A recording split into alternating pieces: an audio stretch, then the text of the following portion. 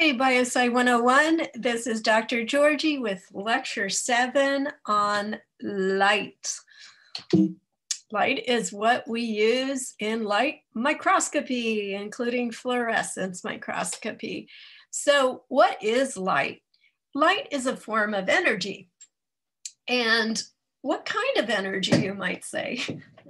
well, this is what we get from physics. It's oscillating electric and magnetic fields that travel perpendicular to one another.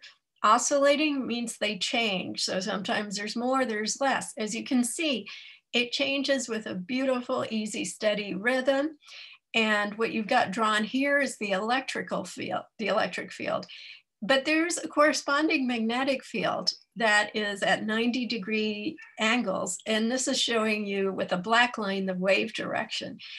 So it's known as EM radiation or EM energy because it's electrical and it's magnetic. In truth, we pretty much from now on ignore the magnetic field, although it exists, and we talk about the electric. I think I'm missing an R in that, or somebody did. They wrote eclectic. Well, whatever. Anyway, it's a little bit misspelled, but the main thing is that you know that it's oscillating EM energy.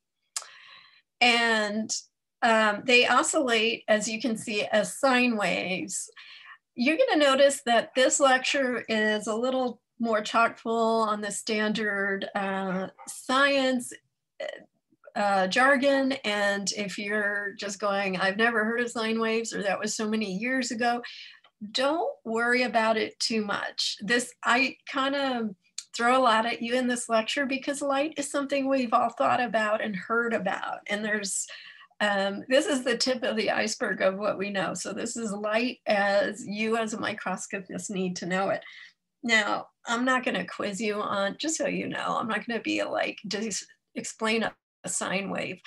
What I want you to know is not so much the uh, smaller yet important details of this lecture, but to get a general sense of how much is known and understood about light and also what isn't known and understood.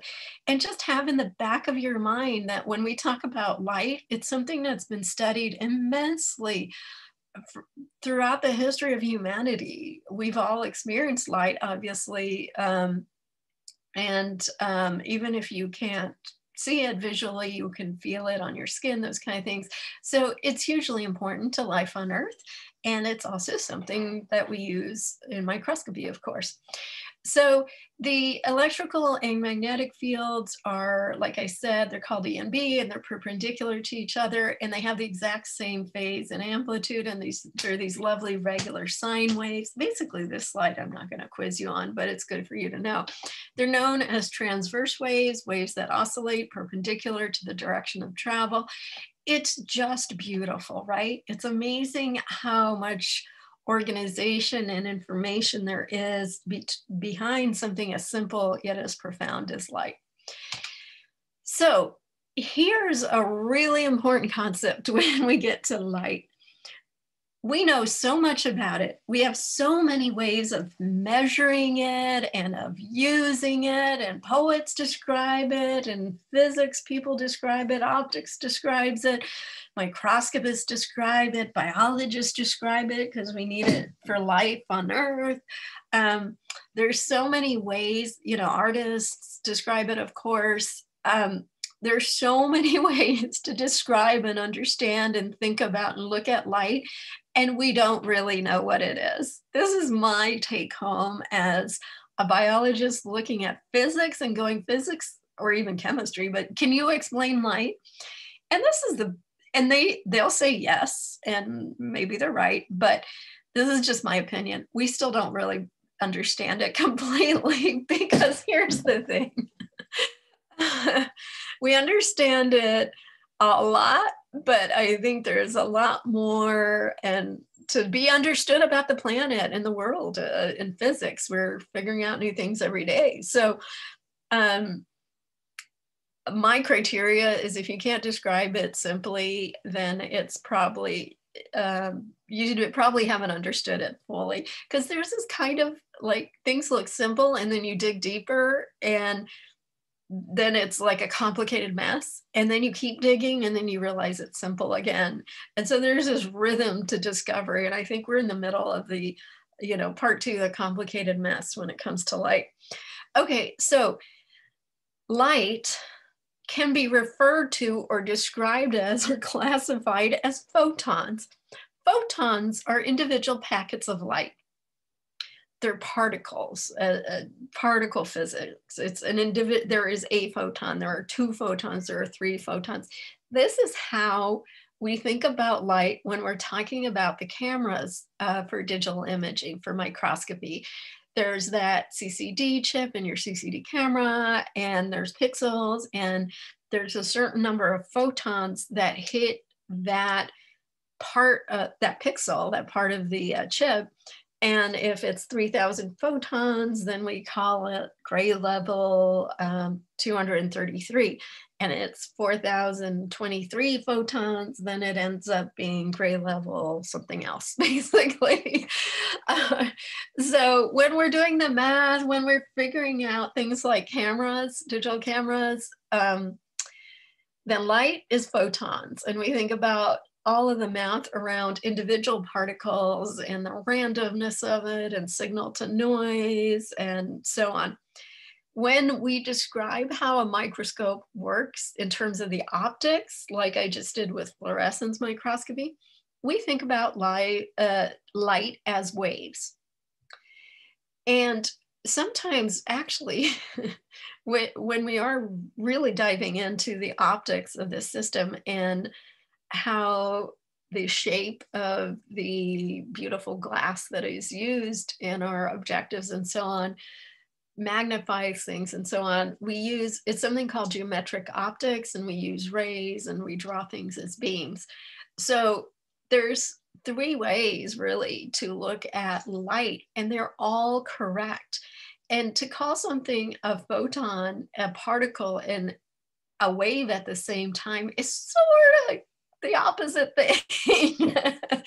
you know, is it a wave? Is it a continuous fluctuation of energy or is it, you know, packets of energy called photons?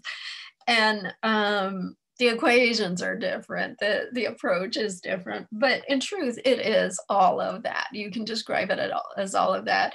And I know some people always say I kind of agree, like waves is supersedes everything else. Like photons is a simplistic way of looking at waves. But if you will, um, well, as you go through this and as you look at the stuff we're going to talk about today, you can see how sometimes you want to describe it as waves because there's properties that waves have that definitely show up when we're talking about microscopy. And however, when we get to the digital cameras, we're like, no, no, no, let's think about photons. So what is it? It's all of that. Light is light. It knows what it is. It's EM energy or radiation. Um, and this is how we describe it. And this is just to show you a ray or beam because you've seen the wave, you can think of a photon, you've probably heard of photons. And like I said, it's used in geometric optics, which is um, light going through, the study of light going through optical lenses. Okay, and so photons, like I said, they are particles, they're qu quantum mechanics, you may have heard of.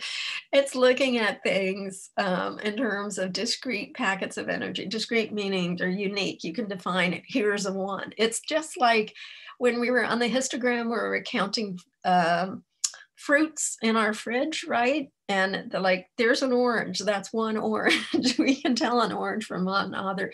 That's a discrete object. It's not a continuum of oranges. I don't know where the orange begins or ends. Um, it's the same way when we think about photons. They're particles of light, they're little packets, they're quantal packets of energy. And um, although in reality, light is both a wave and a photon. So both work, both types of physics work to describe light, which is part of why I find it so wonderful and fascinating. Okay, so as you already know, when we um, think about light as a wave, then we've got features that kick in, like the wavelength, which we register in our retina and our biological system as color. And it's the distance from the peak to peak, hence the frequency. How often physicists talk about how often a peak would pass you if you're one spot observing it. So that's where I came up with the, you know, what if you're waiting for a bus metaphor? And um, again, we experience it as color because our neural system decodes it. Like there's, we basically have a retina, if you will. is kind of like a CCD camera, only much, much more complicated and also alive with blood in it.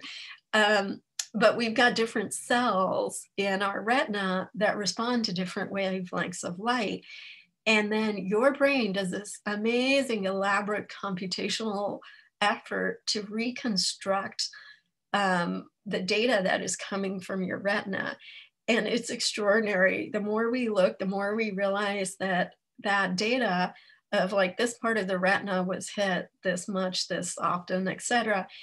It's deconstructed in different parts of your brain, and there's like a zillion maps of the world as you look out where you're like oh here's all the right edges here's all the left edges oh here's all the light yellow spots here's all the bright red spots and then your brain different parts of your brain process that info and then it reconstructs everything together to create what you see as an image so our brains and the uh, the ability to see things is extraordinary and complicated and wonderful and um, oh, we'll come back to the kind of light we use in a little bit. But basically, when we experience color, there's a lot that goes into it. But what we're responding to is the wavelength of light.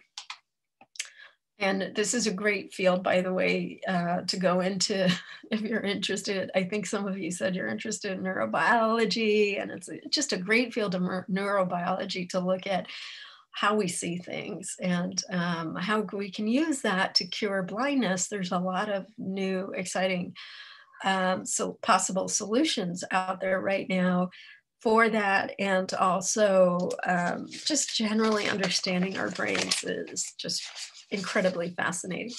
Okay, so um, when we characterize light as a wave, we not only get wavelength and color, we also get amplitude. So this is showing you two, um, two waves of light that are the exact same color, but one, the one on the left is much brighter than the one on the right. The one on the right has less amplitude, so it's not as bright.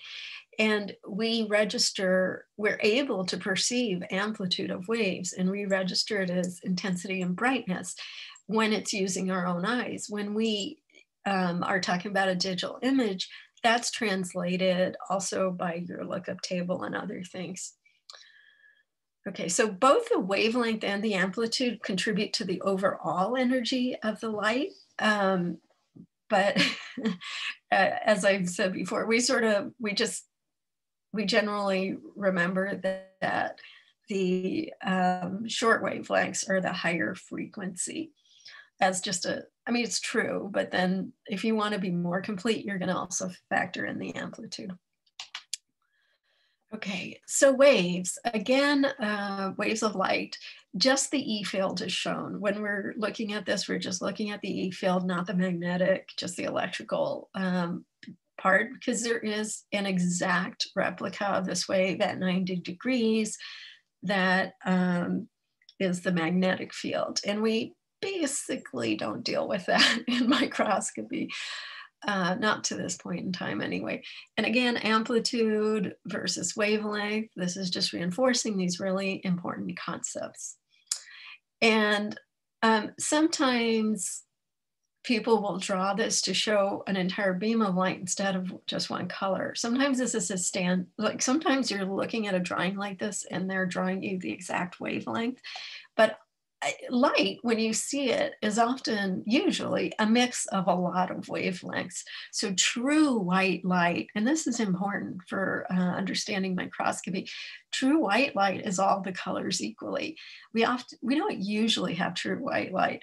If you're um, I, I think these days we kind of understand it more because we all have um, you know digital cameras on our phones. But i was going to say if you're doing digital photography or photography in general you know that white light is there's so many types of white light right? There's yellowish there's bluish there's light um, we call them light temperatures which you'll see on the scopes too. Um, so all the light we're looking at is a mix of different colors. And this is a side note but um, the fluorescent light bulbs that we have often in you know various locations um, i'm used to being in the classroom i just point up to them because we have fluorescent bulbs in there. Those are those are actually there are that's fluorescence happening but it's a lot of types there's a lot of fluorophores by my definition they don't call them that in, in industrial lighting, but there's basically fluores- fluorescing is happening in those bulbs, but it's just so many colors that you get this mostly white light, yellowish white. Okay, so um, the wavelength is important because it tells us color, but when we're doing microscopy, we need to know that the wavelength also affects how deep into the sample your light can go. So the longer the wavelength, the more it's actually less energy, it's shedding less energy, it can travel deeper, which is something that comes up in um, a type of imaging called two photon imaging, because we use really long wavelengths of light and they're less harmful actually because they're less energetic so they're less harmful to the specimen. And um, they travel deeper. They travel even 300 microns into specimens. Most of the light visible light we use can only travel just a little bit just a few microns into your specimen before it's totally absorbed and so you can't like shine a light on someone's skin and affect their kidneys. I have like a lot of alternate treatments, but that one is really hand waving when they're like, I'll shine a light and it'll affect it'll it'll stimulate your kidneys. I'm like, my skin absorbs all the light. There's no light going to your kidneys, okay? As microscopists, we are working really hard to get red light or actually um, IR light, 900 nanometers, to penetrate 300 microns into our specimen. You know, and that's a big victory if we can illuminate something 300 microns deep.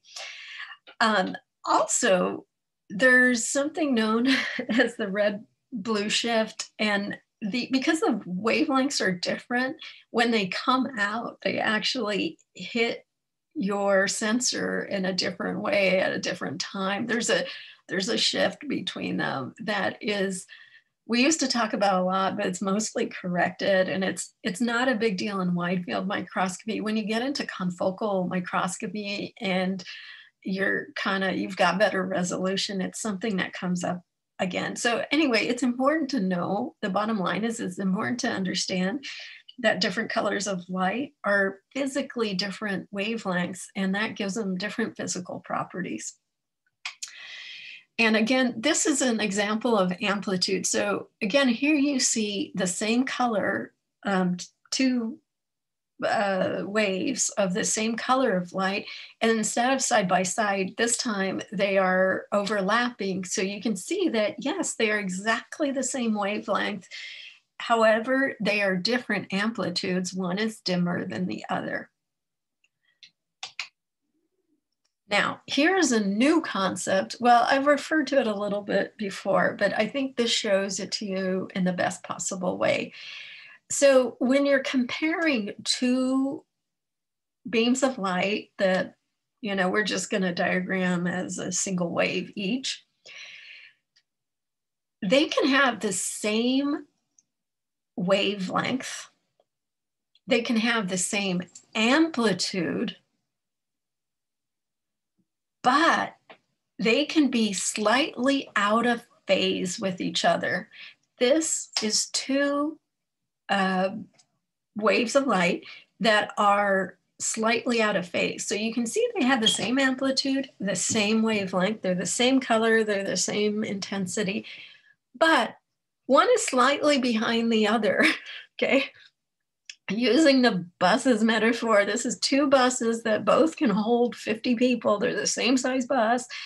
And um, they um, each come every five minutes and they each hold 50 people. So they're not a minibus or a, they're just a whatever that, you know, they're the same size bus basically. However, one comes at four o'clock and then 405, 410, 415. The other one comes at 401, 416, wait, 401, 406, 411, 416, etc. So the other one, still every five minutes, still the same route, st uh, still the same size bus for 50 passengers, just making up a number. But one comes one minute before the other. So each come every five minutes. One comes at four, the other comes at 401. Wouldn't it be great to have such a good bus system? Anyway, that's an aside.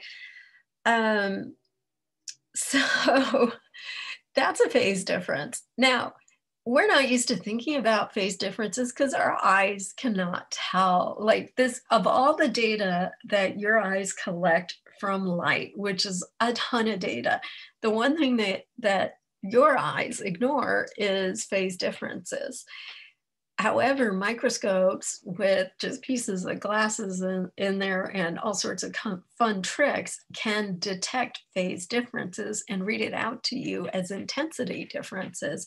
And that is, of course, phase microscopy, DIC microscopy. These contrast generating techniques exploit phase differences in light. Why do you get phase differences? Well, you start with a light source where all the light is in phase, and then you transmit it through your specimen and it gets knocked out of phase because the parts of your specimen are thicker and uh, or denser and have different properties. And so you get an image that is basically a phase map of your specimen. And it's pretty exciting and informative. Okay, so backing up a second to light itself, um, there's something known as the EM spectrum because light is not the only form of EM radiation. Visible light is just the part of it that our own eyes respond to. But gamma rays, X rays, UV light, IR light, microwaves, and radio waves, they are all part of the EM spectrum. They are all just different wavelengths of the same energy, the same deal with a, uh, an E and a, and a, you know, phase. Everything I've just described to you about light is true of all these other forms of what we call EM radiation. So they're just different wavelengths. That's all they are. I, this always blows my mind every time I talk about it. It's just that our eyeballs respond to visible light, and so do a lot of, um, you know, well, fluorophores and and various molecules in, in plants and so on. Anyway, a lot of things, a lot of life responds to what we call visible light plus UV and infrared.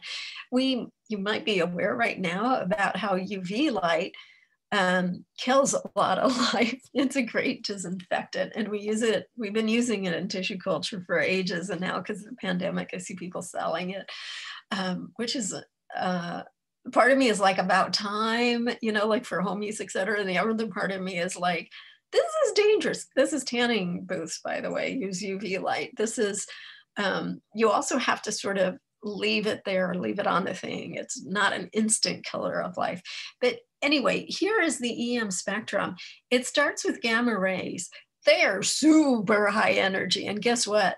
They are super dangerous to life, okay? Because they're, they're just super, super high frequency, high energy waves. X-rays, well, we know that, that we use X-rays in medical diagnostics, right? And we also know that you X-ray something too much, you might hurt it, kill it, harm it. So we got to be careful, but they're, they've, you know, made so much of medicine possible. Um, and we might actually try to irradiate things on purpose like tumors and kill them, right? So then we get UV light, then we get visible light with our lovely rainbow that we already know about from 400 to 700 nanometers, from purple to blue to green to yellow to orange to red. Then IR light, um, which those kind of those heat seeking devices, um, you know, night vision goggles, they're using IR, IR light, plus some microscopes use both UV and IR light. Then on a continuum, same properties, just less frequent of a wavelength. Really, that's the all. We get microwaves, which I think I have a slide, but it basically they heat, heat up the water in your food. That's what your microwave oven is doing for you. Is um, water responds to microwaves and gets starts moving around, makes things hot. And then yes, on the same spectrum, but just bigger waves, which, oh, wait, they can travel long distances. Aha, we get radio waves. So, um, just for your own information, when these different um, forms of EM radiation or uh, things on the EM spectrum hit matter, they have different effects, you know. So gamma rays ionize things. Um, you saw the visible light does the, the electronic excitation, it excites electrons and you get fluorophores, the Jablonski diagram and so on. So um, they have different effects on chemistry, basically, depending on the, uh, the frequency of the wavelength. This is a really fun little graphic showing you, uh, it's flipped by the way, if you notice now gamma rays, I can't find one with gamma rays on the left, but gamma rays are on the um, far right now. and then x-rays showing you different things you can do with x-rays. And then you've got UV, you like I said, a suntan or yeah, dental, uh, curing dental um, materials. Um, they should put microscopes on there, but they don't uh, for shame. Uh, but but anyway, here's how we use um, various uh, various different wavelengths, you know, to cook our food or Wi-Fi or broadcast TV or radio, or of course doing ultrasounds. Um, we also use ultrasound uh, wavelengths for um, for a type of microscopy. Actually, there's really cool things, and of course, sound waves um, are, believe it or not, very related to light um, we just different parts uh, of our body are able to respond to sound waves. So they seem completely different to us, but um, it's the general thing of a part of your body and some cells are able to respond, and then your brain decodes them.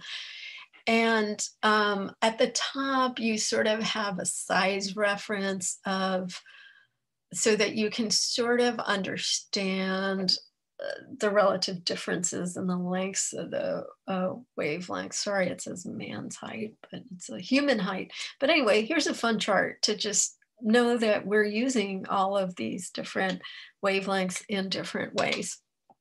And there's an animation you can check out that's kind of fun. Here's another one. These are all the FSU site by Davidson. Um, there's just tons of great info in that website. Okay, here we go talking about what happens when light hits matter. So we're going to dial it back in and just look at visible light again. And then what happens when it comes across your specimen? The answer is many, many, many things can happen. And in microscopy, they kind of all happen. So when light hits your matter or your specimen, it can be reflected it can bounce off of it basically. it can be absorbed partially or entirely. But if it's partially absorbed, it can go through your specimen and then come out as transmitted. While it's going through your specimen, the light, some of it gets absorbed. So less light comes out. Um, and we obviously know it can fluoresce, but we're going to put that aside for the moment. And we're going to think about the fact as it goes past different parts of your specimen, it also gets refracted and diffracted. All of those contribute to the light that is coming out. So the light that goes into your specimen comes out completely different. And that's what a microscope is seeing. It's looking at the light that came out and going, what happened? Did it get refracted? Did it get diffracted? Did the phase shift? Did it fluoresce? Oh my God, let me record this.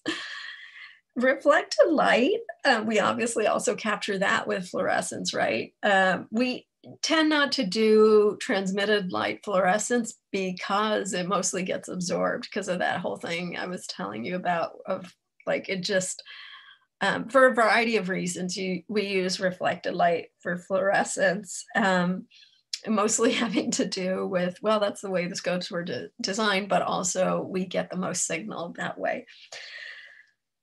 Reflected light, by the way, is also how we see things. Like if you were looking at me in real life, um, you would see I happen to be wearing a blue shirt. I know you're not seeing it on the screen, but um, you would be seeing that because the blue light is bouncing off of me. I'm absorbing the other colors, and what you see is what's reflected back at your own eyes. So that's how reflected light is how we see most of the world, and also why. Like if I was standing in front of you, you can't see, and I put a flashlight behind myself, like a, my lower back, you probably couldn't see it because it can't be transmitted through my entire body. Um, but if you think of the pulse ox that we use in hospitals, I love that thing. It's a you put it on your finger, right? And you shine light through your finger. And it actually is figuring out what light got transmitted from one side of your finger to the other, shines light through your fingers. And um, enough light makes it out that somehow I, I think it reflects, but anyway, but it is able to use the information about how the light was altered to figure out the oxygenation rate of your blood. Okay, so as I said before, one thing that can happen when light interacts with stuff, with matter, with non-light, basically can be reflected. When it is reflected um, sort of perfectly in a very predictable way off of a smooth surface and it produces this high fidelity, high resolution image. We call that specular reflection. It means mirror, honestly. So polished metal, still water mirrors what usually happens is diffuse reflection, which is a hard to predict reflection off of a rough surface, and there's haze and glare, and think about crumpled aluminum foil, wavy water, or more relevant cells. okay, so this is just shows you light bouncing off of a perfect flat surface and you can calculate all the angles of how the light's going to get reflected and what you're going to see versus diffuse reflection. Good luck figuring out what's going to come off of that. Here's, um, you know, a still lake. You see a smooth water surface but the minute it goes wavy, you're not going to see the reflected mountain in that because the light's bouncing in a zillion directions. It's not giving you that perfect little image um, back at you. So we know a lot about the math and the physics of reflection. And um, the cool thing about it is that whatever angle the light hits the material at, it's going to bounce off in at the same angle. So the angle of incidence is equal to the angle of reflection again, for those of you who are still a little math phobic, don't be, but I won't quiz you on this. Um, but just so you know, it's Snell's law and it's really cool. And what I want you to understand is we can calculate this. But again, like with that wavy light, this is happening. This physics is still happening. It's just that there's so many, like it's not a flat surface. And so things are hitting that water with so many angles that calculating it is ridiculous. So, but if we're talking about a smooth surface, we can do a lot of math to it, put a lot of math to it, and we do. There's actually some microscopy that uses this that is called TIRF, T-I-R-F. It uses it in a really interesting way. Okay, so there's your FSU um, little interactive to think about reflection, to reflect on reflection. Haha. Okay, now let's think about when light hits matter and it gets absorbed. So what, what does that mean? It means that the amplitude goes down in one or more of the wavelengths and you see whatever is left as transmitted or maybe reflected light. Just, you know, all these things can happen. These are all possibilities and usually they're all happening. So it's complicated, but fun. And if fully absorbed, obviously the light's not gonna be transmitted. And here's a great little graphic on absorption. It's showing you some opaque material. It's going to be opaque because light is absor it's absorbing light. And so you're going to shine light and not a lot is going to come out of it. Okay. The opaque just means it absorbs light or reflects it, to be honest. But basically, if you're on the other side, you're not going to see a lot of light. And so it's just showing you light, you know, you're getting less as you go from opaque to opaque thing you get utter darkness. Um, oh, this was uh, what I already told you. How do we actually see light? We see light depending on how it interacts, but what we're usually seeing is that some colors are absorbed. So here's a light bulb and something green. The light bulb is sending a lot of colors of light, you know, more or less whitish, yellowish white. And all those colors are getting absorbed except for the green which is it's bouncing back. So this isn't new green light that is chemically produced. There's not fluorescence. It's not that um, that piece of paper is fluorescing. It's just that it's literally reflecting the green light and the other ones it's absorbing. And that's because there's some pigments in there that absorb everything but green. So we see what wasn't absorbed. We're like, oh, that piece of paper is green. Well, actually it absorbed all the other colors and the only one left to see is green. Um, so chemistry of absorbed light. There's different ways to absorb light. And if it's really quickly re-emitted as light of a long, of a, yes, longer wavelength, less energy, then we call it, we can call it fluorescence. I mean, the whole electrons jumping up has to happen. But this is uh, an easy way to tell these different things is by their lifetime. And basically, if it's a matter of, of what do I mean by rapidly? I mean nanoseconds. I mean, it looks instant to us, except for these FLIM scopes that can actually tell you, you know, was it one nanosecond or two nanoseconds? Oh, wait, it's a different thing if it was, you know, two nanoseconds. But for us, with our ability to detect time, it's almost instant. It's basically super fast. Like you shine the light there, it fluoresces. If it takes uh, seconds to minutes to give us uh, uh, also a different light, then it's known as phosphorescence. Um, this is some old light bulbs. This is uh, some bioluminescent, well, depends, but something, sometimes we see it in nature, um, you know, the old glow in the dark paper objects and papers and stuff like that. That was um, phosphorescence, that phenomenon. I think fireflies use phosphorescence. No, they use bioluminescence, which is they chemically create the light. Anyway, if, if we quite slowly minutes, seconds and minutes, re-radiated as infrared waves, that's what we call heat actually. so IR, um, that's why IR cameras see people versus objects because we're um, giving off heat, we're giving off IR waves. And sometimes what happens is you transform it into chemical energy and break chemical bonds and chemistry happens. And that happens in a lot of biological processes too. So you've seen the Jablonski diagram that describes um, fluorescence, so I'm not gonna go over it again. And we're going to switch to a totally new topic here, which is the refractive index. Again, a really important topic for microscopy, but again, about how light interacts with matter, with stuff, with your specimen. So let's think about the speed of light. You've heard about the speed of light. Nothing goes faster, right?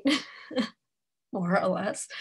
Anyway, in a vacuum. In other words, there's nothing in its way, not even air, because air can slow down light. Light travels at the speed of light, which is um, known as c, and it's a constant speed, and it's very, very fast. And um, c is equal to the uh, wavelength times the frequency of oscillation, which is why for light to travel at this same speed, um, thing, the shorter wavelengths have to be more frequent, okay, just to make it up, make everything perfect. But C is as fast as light can possibly travel, the speed of light, basically. But here's the thing that gets uh, confused and not clearly described a lot of the time. When light goes through stuff, including air, it slows down. It's the fastest it can be when it's in a vacuum. When it goes through stuff like your specimen, like a piece of glass, as might be shown here, glass or plastic, it actually does slow down. And sometimes the textbooks are even wrong on this because it, it does slow down in air. It's just so tiny an amount that it's like, ah, is it really slower? Well, yeah, it is. It's just not important, not in an important fashion for most of us. So it, it does start to matter when it travels through glass or your specimens, because guess what? It's traveling at a different rate through the cover slip and the slide than it is traveling through your specimen. And what we see because of this is it enters or exits a different medium, a different type of matter, like air to glass or glass to specimen. Um, your specimen probably is mostly uh, water, especially if it's live tissue or live cells. Um, as it goes from one type of stuff into another type, is it's traveling in its journey, it goes different speeds. And what that ends up looking like is exactly what you're seeing here, which is it looks like it, it's going at different angles. So as you shine light into a piece of glass, it will get refracted, which means it, it actually means it slows down, but it means that the angle changes a little bit. It's sort of, I've heard of people talking like, uh, as if it's walking through mud versus walking through a field of grass or something, you know. It's doing what it does, but at a slightly slower pace. And so this brings us to refraction. It basically, what ends up functionally happening is that glass will bend light, water to air will bend light. At the interface between two different um, mediums, we call them, there's a bending of light that happens. And each kind of matter, each like glass, your specimen, water, etc., everything has what is called a refractive index, and it's known as N. N is the refractive index. And so when it goes from the N of water into the N of glass into the N of air, there's a bend that happens at each point because the glass, water, and air have different refractive indices. Denser materials kind of slow down light more, so they have a higher N. The higher the N, the, um, that means your material is slowing down light a little bit more. Again, light is so super fast, you know, it's not a big thing, except that it ends up giving us these these this bending that goes on and we have to take that into account in microscopy and also note that the refractive index is dependent on the wavelength so that does matter to it and there's no units for refractive index because it's actually the speed of light in a vacuum divided by the speed of light in whatever it is that you're talking about, whatever you're assigning the n to. So let's look at some refractive indices. In a vacuum, it's one because the speed of light divided by in a vacuum divided by the speed of light in a vacuum is one. In air, I wrote one up here. What? but I said it slowed down. Well, that's because it's uh, you got to, I'm only ending with two significant digits. You got to keep going for a few till you see the change. So it's pretty close, depends on your perspective. But water, whoa, is 1.3. In glass, it's 1.5. 1.5. In immersion oil, the kind that we use for microscopes is special and super clear and super good for our purposes, not just your Crisco or olive oil from your kitchen. Um, it's also 1.5. This may be giving you a hint, I hope, as to why we use immersion oil and why we bother, because it's so uh, messy to clean up. Because remember, your specimen is the light that goes through your specimen first goes through air, then it hits the glass of your slide or cover slip, depending on what direction. Then it goes through your specimen. Then it goes through your cover slip.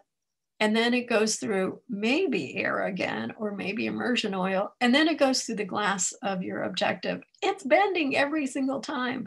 This is why, if we can stop the bending by putting some immersion oil in there instead of air, then it goes through glass and immersion oil. They have the same refractive index. There's no bending. There's, um, and that's just that's good uh, for us. So guess what? Memorize this chart. Know that vacuum air are kind of the same. Water is 1.3 and glass and immersion oil are 1.5 is just really important for you to know as a microscopist. I think I have, here we go. There's the, there's the air. So, you know, it's 1.000278. It is not quite one. It is different than one, but yeah. And for a biologist, that's pretty close. Um, and again, water. So when I quiz you, you can give me this whole number or you can give me one. I'll accept either for air. Water, again, 1.33. Um, optical glass, 1.51. If it's the best, the most expensive, it, you know, we're just going to go with that. Just for comparison, this one you don't have to memorize. A diamond, 2.43. Um, again, that's why a diamond's a, that's part of why a diamond's a diamond. And you know, it gives you all those little sparkles and refraction and so on. So light travels a little bit more slowly through materials with a high refractive index. Now, cells, yeah, I mean, we can say they're kind of mostly water and 1.33, that's an approximation, but the truth is all that bouncing around that it's doing in cells in different parts of the cells have different refractive index it's going to read out as your image. That's what your image is. Well, big part of what your image is. Okay. So you need to know the refractive index of everything you can control in your light path. So that's why the you have to use certain glass for the cover slip and slide. You sometimes want to use immersion oil. You want to think carefully about this in the design of your microscope. And then you're going to put your specimen in there this is why, if you can, you want your specimen to be wet because it, you're just going to be able to image it better. This is really important when you're doing microscopes at home. Always put a little drop of something with your specimen. You'll just get much better images if your specimen is in some sort of fluid. Okay, so when light hits matter, one of the things that can happen, it can be refracted, which means it bends as it passes from one material to another and the refractive index of the material that you're looking at, that you're using is really important to keep track of in microscopy. Oops, went back. Um, there's a lot online you can look up about this that'll show you, you know, you can put a straw in a glass of water at home and be like, oh, I guess light does appear to bend as it goes in that interface between water and air. That's what's going on. It's not like the straw actually bent, it's your image of the straw um, is slightly not accurate to be honest because of refraction. You're like i know the straw's over here but it's you know same thing with a fish. It's like the real fish is somewhere else than where you think it is where it's showing it to you. And a straw is lovely because we see half of it where it really is and we see half of it where um, refraction is making us think it is and um, I'm sorry, the the the law of reflection is not Snell's law. Snell's law is the one about refraction. So there's beautiful physics and math around refraction. Again, um, we can know the angle and we can know the refractive index, and then we can figure out um, how the ray is going to be bent and what's going to happen, which is great when we have things like air to glass, and we know what the glass is. But when you're talking about light going through cells or tissues, then there are so many different refractive indices in that specimen that the only thing you can do is look at your image, which is a map of refractive indices, basically also depending on the scope, a map of phase differences. also depending on the scope, a map of fluorescence.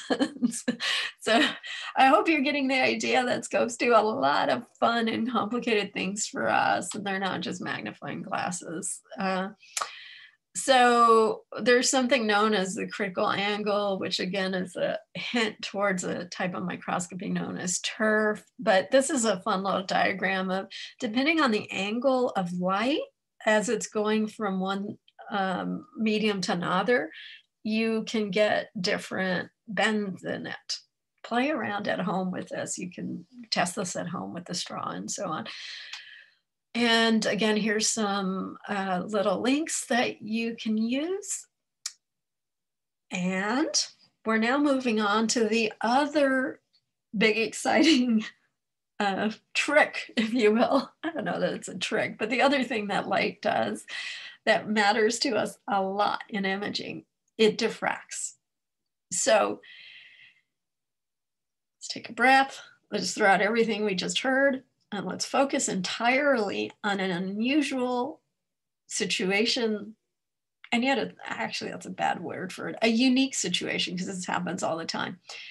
But what happens when light hits an edge of something, including that of like a small hole, which is the original edge, basically?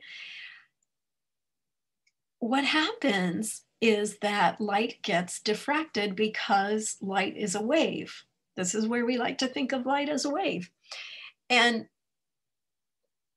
in the 1800s, Ernst Abbe figured out what a microscopy image is, what a microscope image is. And he figured out that diffraction is really key in microscopy. It's one of the most important things. Actually, it's also important to you because every image you ever see with your own eyes is diffracted. So, what is diffraction? Well, let's think about just any old wave. It could be a gamma wave, a microwave, it could be an ocean wave, because this is how they first figured it out. And they still do a lot of these tests in big water tanks. So you see, this time the wave is drawn as a series of you know, lines basically. And so here's this nice, lovely wave, just really evenly going straight through the water. Let's think of this as a water wave, but it's the same if it were light. Um, and then you put, you block it. You put a wall in its way, but there's just one small hole in that wall. So now there's two edges that it needs to contend with suddenly.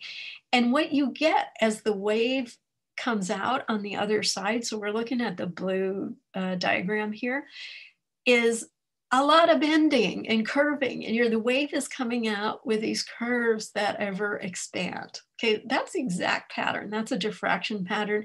Again, it's something that we've described mathematically. We've seen a lot. Create a little wave tank, take a like um what do you call those? Little plastic containers you know for sandwiches. Um, take one of those at home and create the situation you know create a little wave and see what happens. Put an aperture put some food coloring into it so it's more fun. Um, don't believe me in other words make sure you think this is true but we've known this since like the 1600s because there were people doing this and figuring it out since then. And these show some other, uh, at, over here on the, in the yellow on the left, we've got some edge situations going on that, you know, are a little bit different. But basically, if you put something in the way of a wave, let's say a rock, yeah, no, it's going to crash around the wave. Uh, the wave's going to crash around that rock, right? We can see it when we go to the coast here in California um, it's not going to keep going straight. It's going to crash and curl around the rock. The one on the bottom might be a rock basically here. So these are all diffraction patterns that um, happen when a straight wave hits an edge. And then it gets even more fun when let's this time we're just going to take light and light bulb. If you put a light bulb and create some light hitting a opaque piece of paper with two holes. Again, you can try and do this at home. And um, there's lots of demos about this online if you want to check it out. Um, so this is a famous uh, two slit experiment that was done a long time ago, um, important part of physics and basically what you're going to see is the light going through each of those little holes, those apertures, does its diffraction thing, but then those two diffraction patterns interact with each other. And the image that you're going to get is actually a dotted image because there's areas where those waves interact with each other and cancel each other out. That's called destructive interference. And then it goes dark. And then there's areas where you get constructive interference where the waves sum up and it gets brighter. So although you had an, just an even bit of light, if you shine it through this dark thing with just two holes, two little slits, you will get not two slits out as your image, but you will get a pattern. You will get a dot, dot, dot, like bright dim, bright, dim, bright, dim, bright, dim. This is what the microscope image is. Um, and also how resolution works and also why you never can ever ever see the world as clear as it actually is because any image you see is actually refracted through um, the aperture in your eyes and so you actually see everything with less resolution than really than it originally was.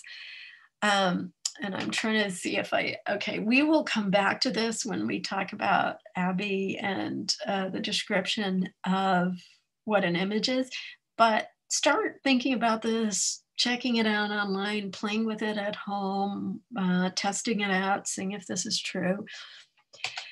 And we're going to come back to the many things that happen when light interacts with matter. And when when we metaphorically, I think this is us throwing up our hands and saying, I don't know, it's too complicated. But refraction and diffraction um, are both wavelength dependent. And so when white light, oh, this is dispersion, sorry, scatter is when we throw up our hands. So dispersion is actually what happens is um, when light gets separated out by different colors because refraction and diffraction are happening refraction and diffraction are always happening. Well refraction if you're going from different mediums so air into glass or liquid or something like that diffraction happens anytime there's an edge or a hole which um, your cover slip is not going to diffract things or your glass right? It's just glass um, I guess the edges would, but we're not looking at those. But your specimen is diffracting all over the place. There's all sorts of apertures and edges that are happening in your actual specimen. So, and then sometimes the, because all of this is also wavelength dependent, the white light gets separated into different colors and then you get a prism. okay. Like if it's really well done and you say you can, you know, this is seen as proof of, yeah, all uh, this is happening. So, and we use prisms in microscopy too. Scatter, scatter is what I was talking about, where we throw up our hands and just go, oh, all of that's happening. So uh, why is the sky blue? Because blue light is scattered in all directions. And so no matter where we go, we see blue sky. I mean, we don't see the other colors of the light if there aren't clouds. Um, so scatter is basically what is really happening and light kind of just going in a zillion directions. We don't want scatter inside our scope like the components, like dust in your scope will cause scatter scatter is going to happen as it goes through the specimen. That's the image you're looking at, basically. But when we talk about it in an actual microscope, we're not talking about the scatter that, of course, is happening in your specimen. That's the point. You're going to get an image thanks to it. Um, if somebody mentions it about microscopy, they're talking about um, light uh, wandering off inside the other com the components of your microscope. So not in your actual specimen, but you're directing light along all, all into all sorts of places. Like for instance, a bulb you've got to direct it through the base of the microscope, the light from the bulb, and then up. And then after it goes in through the objectives, you've got to direct it around till it gets to the oculars or the camera. And so if things are out of alignment, you you scatter is bad when you're talking about the light path in your microscope. Scatter in a specimen is inevitable, and we don't even talk about it. So Summing up, transmitted light as it passes through an object can be refracted, diffracted by the edges of the opaque portions and structures nearly as small as the wavelengths of light. In case you're wondering, what are all these opportunities for diffraction inside of a specimen? Lots of diffraction happening. And that's okay because we can therefore see small structures. Again, not magnification, that's not what's happening it's diffraction that's giving us the microscope image. Um, here's some more examples, just, you know, to have some good examples. Um, transparent objects are called transparent because they transmit a lot of the light. Um, opaque objects tend to absorb light. Reflective objects like a mirror mostly reflect the light. Nothing is 100%, okay? This is just like the main effect of an object and um, just you know object names again opaque means they absorb light transparent transmits it reflective reflects it and scattering objects diffract the light so our specimens are scattering objects there is a new way to turn things opaque which is called clarity pro it's a specimen prep I mean, uh, to turn spe opaque specimens into transparent specimens. It's pretty cool. Um, our biological specimens are mostly not transparent because they of the fats and the type of fats in them. There are some animals that we study, like zebrafish, where the embryos are transparent, so they're great for microscopy. And object names. So things aren't just one. They, there's always reflect, refraction, diffraction. There's always something happening. But again, we sometimes name them by the main thing that's happening. You've heard of amplitude objects that are kind of opaque and phase objects tend to be transparent and also cause uh, phase shifts. So putting it together, light and matter, light hitting a cell will be a little bit reflected, a little bit transmitted, a little bit refracted, absorbed, dispersed, and diffracted, and scattered actually, which is a combo of these. This leads to sometimes to phase shifts. Um, oh, I didn't even mention this changes in polarity. That's the uh, my polar microscope uh, PolScopes are using that. Um, that's actually polarity is the direction that those waves are oscillating in, and are they oscillating in a complete 360, always at 90 degrees or not? Anyway, um, these these various disturbances, if we can, um, these things that happen to light as they go through your specimen lead them to form an image. We can't see phase differences or polarity differences with our own eyes, but the microscope can use them to generate contrast. That's DIC and phase microscopy. Light is also absorbed and can cause fluorescence. And what we're going to come back to later is the diffraction is really big in just bright field microscopy, giving you bright field microscopy. So again, just summarizing, light can, just organizing it in a different fashion. Light can be absorbed and cause fluorescence. It can be diffracted or refracted and change phase, can be polarized, and then um, it can just be diffracted and give us a bright field image. And here's a little animation uh, just for fun, just maybe stirring up some fond memories. Uh, Planck's law describes the quantum energy. So when I say there's, you know, lots of knowledge and equations and math to whether light is a photon, you know, is it a quantum material or is it light? I mean, is it waves? Yes to both. and um, these are some cool movies that I hope are still up at these links. And um, this is the this is just an amazing video. We might watch it during a demo. Um, this is info we got from microscopes animated and showing us um, how the parts of a cell. It's just a really fantastic video. And these are just some cool movies. And that is it for this portion of your class. Thank you.